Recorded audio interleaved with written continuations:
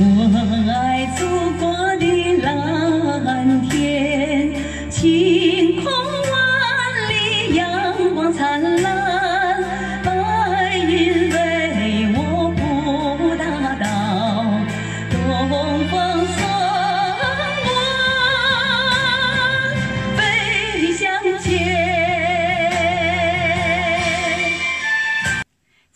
当代流行歌曲中短音阶歌唱的方式居多，但还是有许多的歌曲中会出现长音和延音。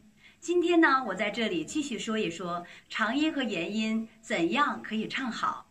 大家好，我是快乐练声的回老师，帮爱唱歌的有缘人快速成长，在家就可以做的发声练习，让你唱歌不再困难。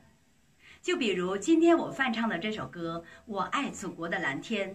其中有一句啊，非常抒情的啊啊啊啊！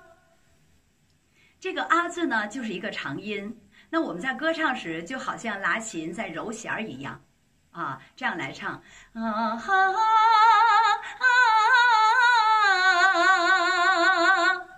在这个位置哈，哎，感觉你的气力在这里啊，像柔弦一样的感觉来歌唱。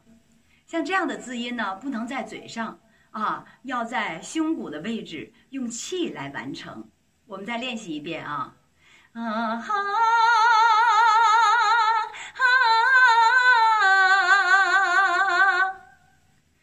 一句是高音，而且是长音，我们要吸好气，带着气势高位置发声，而且要站在胸骨这位置来完成啊！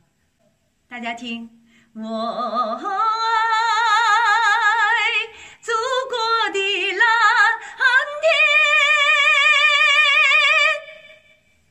像这样的句子呢，大家一定要拿出来，单独的反复多练习啊，找好了歌唱的状态和感觉啊，把我们的气势和情绪调动起来，我们才能很好的完成这句。那现在我们跟着歌曲的感觉，跟着歌曲的旋律，我们再一起来练习。金色的朝霞在我身边飞舞。脚下是一片。